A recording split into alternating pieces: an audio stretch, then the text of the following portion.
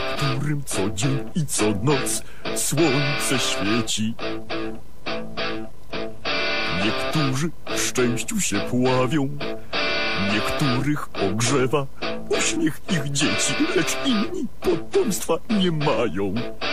Niektórzy z miłości chorują, dla innych jest ona łatwizną.